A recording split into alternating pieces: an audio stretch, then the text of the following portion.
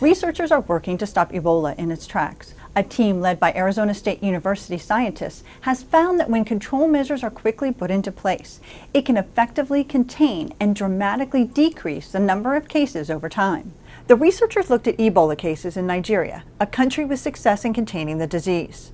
The research was funded by the NSF NIH USDA Ecology and Evolution of Infectious Diseases program. The team conducted epidemic modeling and used computer simulations to project the size of the outbreak. Interventions to control the disease were implemented during various time periods after the initial case was found. Researchers discovered that the projected effect of control measures ranged widely depending on how early those measures were put into place. The team sees the success in Nigeria as a hopeful example for other countries, including the U.S. According to the Bureau of Transportation, approximately 1.73 million passengers travel by plane every day. This steady increase of passengers coupled with weather cancellations and overbooking can cause delays that ripple through the current air traffic system. While Congress has enacted a law to bring online the next gen air traffic control system by 2020, an NSF funded MIT research team says the changes to the current system don't have to be major to have a huge impact. Today, aircraft can push back from the gate whenever ready.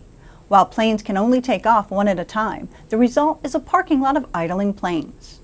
Studying algorithms and computer models, the team is testing ways to more efficiently release planes from airports without adding delays to the system.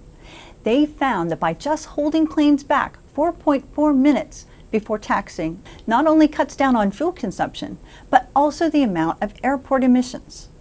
With FAA approval, the team tested their methods under real airport conditions.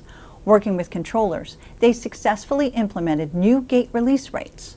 The tests showed that without adding delays to the system, they were able to limit idling times and save fuel. The team hopes to test their models in a new study at LaGuardia Airport and feels the fundamental nature of this work extends beyond air traffic control to many other areas. The desert sidewinder rattlesnake is fast, efficient, and can easily move through a broad range of surfaces. An NSF-funded team led by Georgia Tech is studying the animal not only to better understand the snake, but also to build a better robot. The original goal for this research was really to try to understand how these interesting snakes, uh, venomous sidewinding rattlesnakes, are able to achieve their incredible locomotion using a peculiar kind of locomotion, sidewinding, on a variety of granular sand terrain. Collaborating with Zoo Atlanta and Carnegie Mellon University, the team built a simulated sand dune test bed that closely resembles the snake's Arizona habitat. Using high-speed cameras, the team tracked the snakes as they maneuvered on hills at different inclinations. The team discovered a unique wave motion used by sidewinders that allows them to better traverse sandy slopes. Using an independently controlled horizontal and vertical wave motion, the snake increases the amount of body in contact with the sand to keep the sand in sound-like state.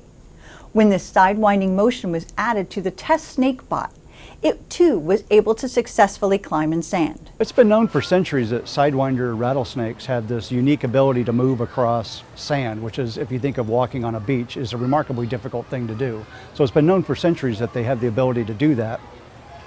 And it's been relatively well characterized, but not in a modern sense and not from the perspective of the sand.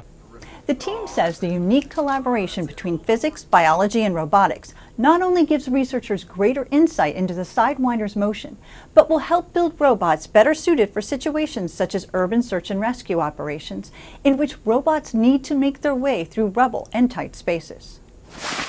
A National Science Foundation funded team of archaeologists from the University of Alaska Fairbanks has uncovered the remains of two Ice Age infants buried more than 11,000 years ago.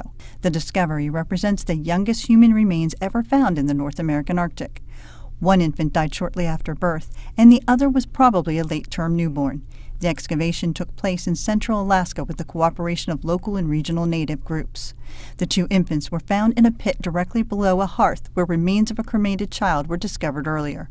Grave offerings included hafted projectile points and decorated antler foreshafts, part of hunting weapon systems. In, in many foraging societies, you might not expect to see uh, elaborate grave goods with very young infants. Um, we might expect that with, with adults that have achieved status somehow. Um, so this is interesting um, and, and a new facet of Paleo-Indian behavior that we really never encountered before. The team says this discovery offers valuable insights into parts of ancient human culture that are rarely preserved, including funeral and ritual behaviors and social organization. For more information about these stories, visit us at nsf.gov. This is NSF Science Now. I'm Dina Headley.